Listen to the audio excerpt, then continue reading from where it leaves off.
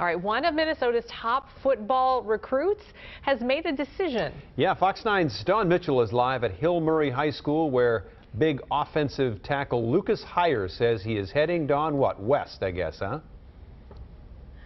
You know, absolutely. And let's put the emphasis on big, right? Six foot five, 305 pounds, but all muscle. And yes, he has decided to go to Stanford. So he is heading west to officially official play football, but not until he finishes out a senior year next year here. Yeah, it feels awesome. Huge relief.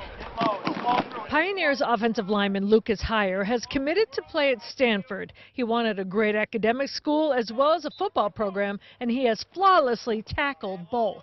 For me, Stanford stood out. It was academics, their development of offensive linemen, putting guys in the league, and then it was a really good cultural fit as well. I'm happy for him. You know, I think the goal was to try to have a decision made before we got to August, you know, so he can just focus and concentrate on his senior year. And, um, he, you know, Lucas did it the right way, in my opinion. And by doing it the right way, Heyer commits before his senior season and stays true to himself, which includes not giving in to pressure to stay home and play, but of course, he grew up idolizing hometown teams. I would have to go Gophers. Both my parents are alumni, so I would have to go Gophers. But like I said, I went into it with an open mind and came out came out of Stanford. So now he doesn't have to worry about who's calling him tonight or who's sending him messages or who he's got to get back to.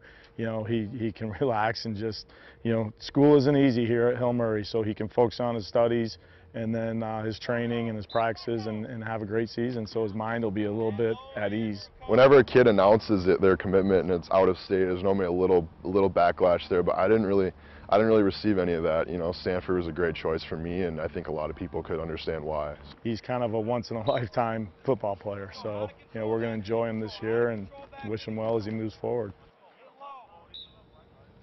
So he's smart, He's a good kid, and man, can he play football. And you know, Stanford, one of their funny sayings is fear the tree. And if you see him lined up against fellow high schoolers, you know number 77 is on the field. He looks like a tree standing there. So fear the tree for the Pioneers one more year, and then he'll go to Stanford. He's enormous. He is. Yeah, wow, great. It's going to be so fun to watch him grow and watch his future. Literally. Thanks, right? yeah. I don't thanks. think he's done growing yet. Thanks, Don.